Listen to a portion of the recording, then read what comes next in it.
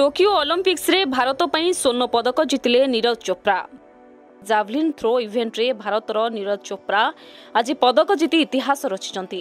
ସେ କେବଳ ପଦକ ଜିତି ନାହାନ୍ତି ବରଂ ଦେଶ ପାଇଁ ଏକାଥରକେ ସ୍ୱର୍ଣ୍ଣ ଜିତି ଇତିହାସର ସ୍ୱର୍ଣ୍ଣିମ ଅଧ୍ୟାୟରେ ନିଜର ନାଁକୁ ସାମିଲ କରିଛନ୍ତି। ଏଥିସହିତ ଚଳିତ ଅଲିମ୍ପିକ୍ସରେ ଭାରତ ପାଇଁ ପ୍ରଥମ ସ୍ୱର୍ଣ୍ଣ ପଦକ ଜିତିବାରେ ସଫଳ ହୋଇଛନ୍ତି। ଆଜି ଜାଭଲିନ୍ ଥ୍ରୋ ଫାଇନାଲରେ ମୋଟ ବାର ଜଣ ଆଥଲେଟ୍ ଭାଗ ନେଇଥିଲେ ଯେଉଁଥିରେ ପ୍ରତି ଖେଳାଳିଙ୍କୁ ଏକାଧିକ ଥର ଥ୍ରୋ କରିବାକୁ ଦିଆଯାଇଥିଲା। ଭାରତୀୟ ଖେଳାଳି ନିରଜ ଚୋପ୍ରା ଆରମ୍ଭରୁ ହିଁ ଭଲ ପ୍ରଦର୍ଶନ କରିଥିଲେ। ଆଉ ନିଜର ପ୍ରଥମ ପ୍ରୟାସରେ ସେ ସତାଅଶୀ ଦଶମିକ ଶୂନ ତିନି ମିଟର ଥ୍ରୋ କରିଥିଲେ। ଏହାପରେ ଦ୍ୱିତୀୟ ପ୍ରୟାସରେ ମଧ୍ୟ ସେ ସତାଅଶୀ ଦଶମିକ ପାଞ୍ଚ ଆଠ ମିଟର ଥ୍ରୋ କରିଥିଲେ ଯାହା ଆଜି ତାଙ୍କୁ ମେଡାଲ ଜିତିବାରେ ବେଶ୍ ସହାୟକ ହୋଇଥିଲା। ଏହାପରେ ଆଉ କୌଣସି ଖେଳାଳି ତାଙ୍କର ଏହି ଥ୍ରୋକୁ ପାର କରିପାରିନଥିଲେ।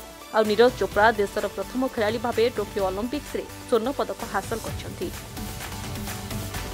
ଆଜି ଯାଏଁ ଅଲିମ୍ପିକ୍ସର କୌଣସି ସଂସ୍କରଣରେ ଭାରତର କେହି ବି ଆଥଲେଟିକ୍ସରେ ପଦକ ଜିତିନଥିଲେ ଶେଷଥର ପାଇଁ ଉଣେଇଶହ ମସିହା ଜୁଲାଇ ବାଇଶରେ ବ୍ରିଟିଶ ଇଣ୍ଡିଆର ନୋର୍ମାନ ଫ୍ରିଡଚାର୍ଡ ଦୁଇଶହ ମିଟର ରନିଂ ଇଭେଣ୍ଟରେ ରୌପ୍ୟ ପଦକ ଜିତିଥିଲେ।